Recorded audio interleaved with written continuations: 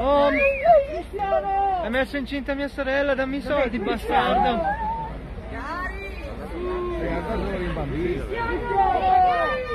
Eh, non si vede nel video, mi il telefono fa. Cristiano, bonifico. Perché bonifico. È lui, il pollo. Bruno Fernandez.